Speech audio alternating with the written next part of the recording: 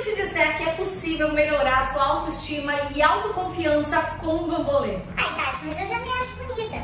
Eu posso te mostrar que a autoestima vai muito além de se achar bonita. É você cuidar de si mesma com prazer e se empoderar. E eu posso te provar que o bambolê e a dança com certeza são ferramentas que vão te ajudar nisso.